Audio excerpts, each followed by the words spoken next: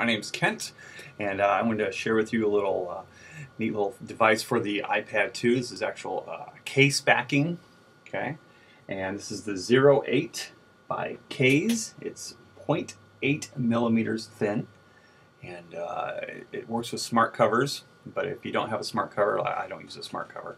Uh, they even give you a little strip of um, kind of sticky, uh, real, real thin, sticky to, to lay on there that, of course, peels right off. And it goes on incredibly easy, just, just real lightly snaps, not a big or anything, but just and uh, has all the spaces for everything you need. But I was just really blown away at how thin it is. It really doesn't add any amount of thickness um, to the iPad as far as feeling. It's tough, and um, you know works with like, it, I said the uh, smart covers. Also works with the, the awesome pad pivot that I love. Just sticks on there, all right. And uh, I, I, really, um, man, I'm, I'm, pretty blown away by it.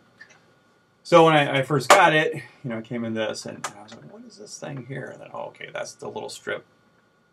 It comes in this little bag, which is, they actually give you a cleaning cloth also.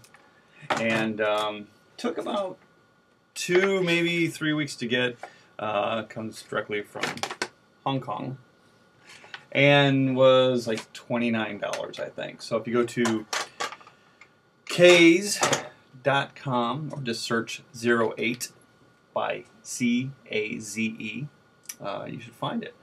And uh, supposedly the world's thinnest background um, protector.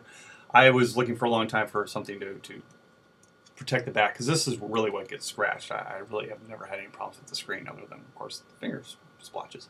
Um, and so I, I searched around. I think I was looking at um, Macworld, and they had a, a little re review on it. So I went to the site and I purchased one, and uh, I'm really, really pleased with it. So I don't usually do demo type things, but yeah, check this thing out. If you're just looking for something simplistic, really um, something good for the the backing to protect it that doesn't add any amount of bulk to your, your great looking device. And it also comes in some colors too, but I just went with the clear one. I think it comes in like blue and pink and things, which you'll see on the site. Um, check out the CAZE, 0.08 millimeters. Crazy.